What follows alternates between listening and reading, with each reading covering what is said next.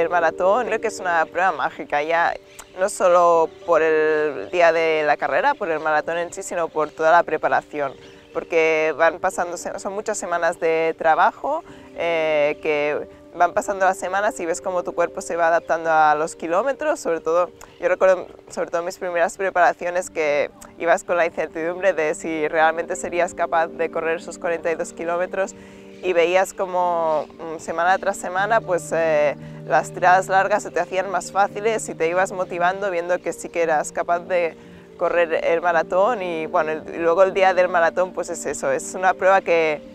que depende de muchos factores, pero sobre todo de tu trabajo. Si no has trabajado, si no has hecho los deberes eh, cuando estás en la línea de salida,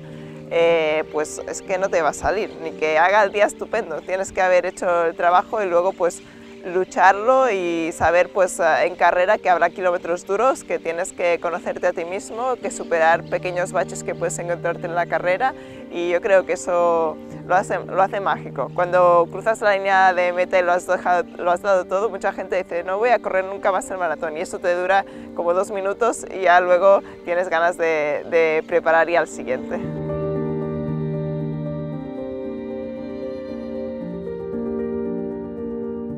Después de haberlo intentado varias veces, pues es que creo que lo bonito de esto es el camino al final, de,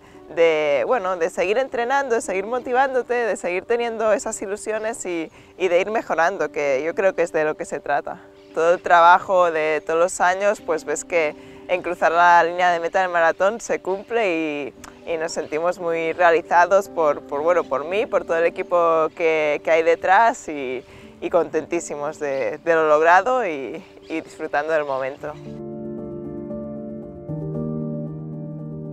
Sí, hay grandes atletas que lo habían intentado y se habían quedado a las puertas, entonces eso también daba un poco de respeto, ¿no? porque si todas esas grandes atletas eh, no lo habían conseguido,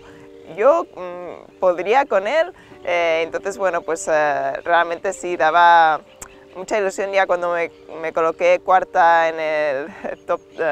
de de las atletas eh, de, estar allí con, esos nombres, con esa gente y, realmente pues eh, eh, hacer grande el maratón aquí.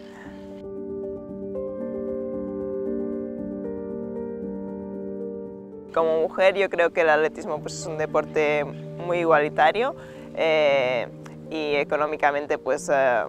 Ah, yo creo que es bastante paritario. Sí que a veces pues, en los medios de comunicación, pues, en algunas carreras populares, pues, todavía se, se, destaca más al campeón que a la campeona, pero bueno, creo que se está intentando corregir. Es, yo creo, cuestión de tiempo y bueno, a mí me da esperanza que, por ejemplo, en el pasado maratón de Valencia, pues ah, creo que había más foco mediático para el maratón femenino que que para el masculino. Entonces yo creo que esas cositas pues eh, van a ir eh, animando pues también a los medios de que se, se, mire más por la mujer, que al final pues creo que son eh, igual de interesantes las dos carreras.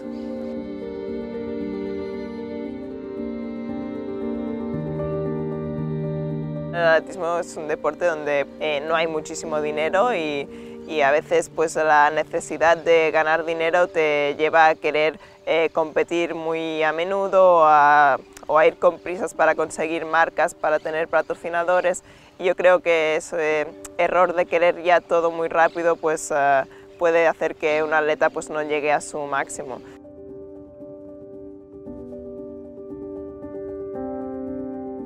He vivido momentos muy bonitos en el atletismo, pero yo como digo, a mí me gusta seguir entrenando, seguir eh, mejorando y para mí el reto es eso, eh, ver dónde, hasta dónde puedo llegar, hasta qué, cuál es mi límite y yo quiero seguir entrenando para, para descubrir eso, para ver eh, dónde tengo el tope y, y a ver